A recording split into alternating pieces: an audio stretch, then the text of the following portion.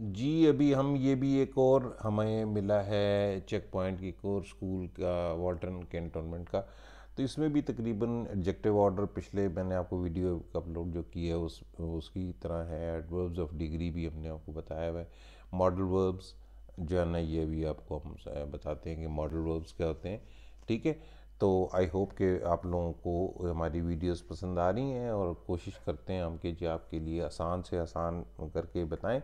आपको भी अगर कोई मशवरा देना हो या आपको किसी चीज़ में समझ आने मुश्किल हो तो ज़रूर हमें बताया कीजिए। ठीक है जी?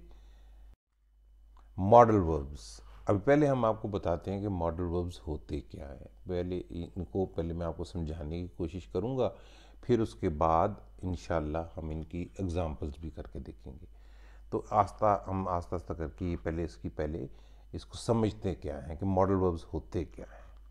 Modal verbs also known as modal auxiliary verbs are a type of auxiliary verb that are used to express various meanings such as possibility, ability, permission, necessity and obligation.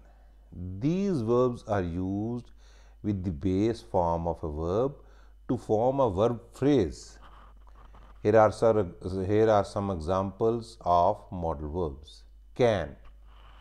This modal verb is used to express ability or possibility. For example, I can swim in the pool.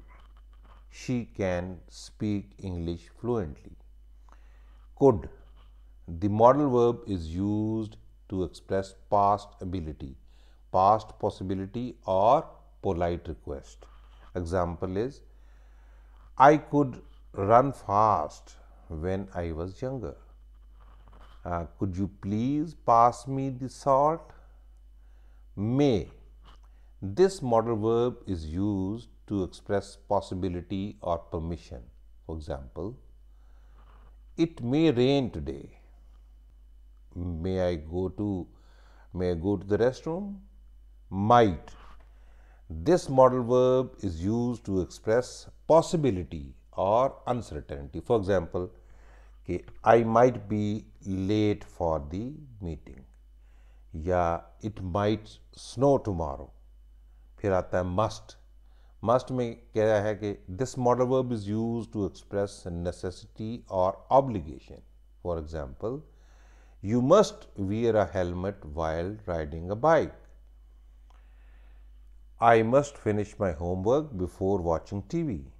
फिर एक है modal verb should. This modal verb is used to express suggestions or obligations. For example, you should eat healthy food. We should recycle our waste. By using these modal verbs, you can make your sentences more expressive and precise. ठीक है जी okay अच्छा चलें, अभी हम कुछ ऐसा करते हैं कि मॉडल वर्ब्स की कुछ हम एग्ज़ाम्पल लेके मैंने उनको ना कुछ सेंटेंसेस में यूज़ किया है तो हम देखते हैं कि मॉडल वर्ब्स जो मैंने आपको बताए हैं, ये हम किस तरीके से सेंटेंसेस में यूज़ कर सकते हैं। मैं आपको मुख्तलिफ़ सेंटेंसेस इनके बना के दिखाऊँगा आप इनको ज़रा गौर से अगर सुन लेंगे तो इन आपको इनका इस्तेमाल भी करना आ जाएगा you shouldn't talk with your mouth full of food she must study for her exam tomorrow he can ride his bike without training wheels. We could go to the park if the weather is good. I may have left my, knees, uh, my keys at home. They might come to the party tonight. You should, you should always say please and thank you. I can't speak French very well. He mustn't stay up too late on a school night. She may not be able to come to the movie with us ठीक है अब यहाँ पर देखें हमने shouldn't का इस्तेमाल किया, फिर मस्ट का इस्तेमाल किया, फिर कैन का, फिर कुड का, फिर मे का माइट शुड कांट मसंट और मे नॉट ठीक है? ये सारे आपने मॉडल वर्ब्स यूज़ किए हैं। इनसे आपकी इंग्लिश ज़रा ज़्यादा प्रसाइज हो जाती है और आपको एग्जैक्ट आप मीनिंग जो बताना चाह रहे होते हैं, उससे आपको वो आप आसानी से बता सकते हैं, ठीक है? तो मॉडल वर्ब्स का इस्तेमाल आना और उनको समझना आपको बहुत ज़रूरी है, ठीक है ना जी?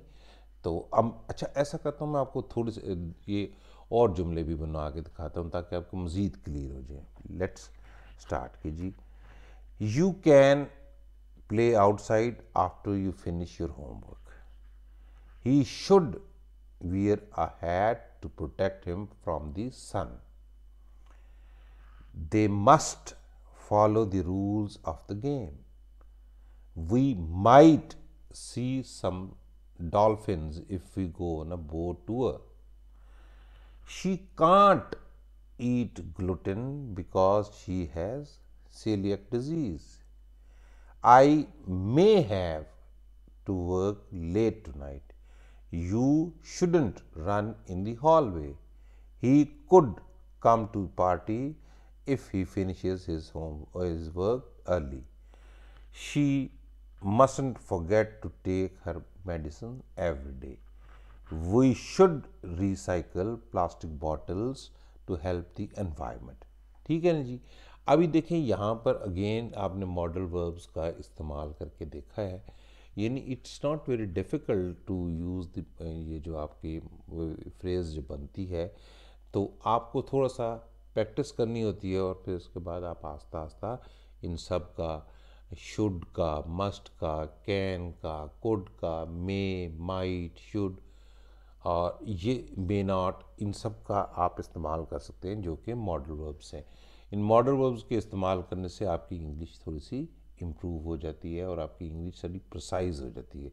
कि एग्जैक्ट मैनी आप जो कहना चाह रहे होते हैं, वो आप दूसरे तक बता सकते हैं। ठीक है ना जी?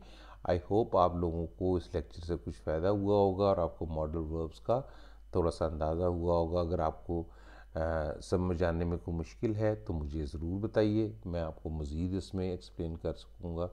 अगर आप इसमें दिलचस्पी लेंगे। मगर आ, मेरी जो मेहनत है आ, वो तभी उसका कोई फ़ायदा है कि आप लोगों का फ़ीडबैक मुझे मिलता रहे कि आप लोगों को समझ आ रही है या जैसे भी आप चाहें। हम इन आपको उस तरीके से समझाने की कोशिश करते रहेंगे।